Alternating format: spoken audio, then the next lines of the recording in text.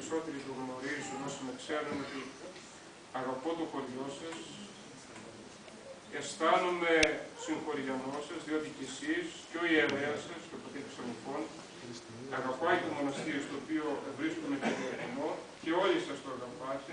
εμπράκτος δίνοντας όχι μόνο την αγάπη σας, αλλά και το είναι σας για ένα μοναστήρι το οποίο βέβαια βρίσκεται μακριά από την περιοχή σας, αλλά να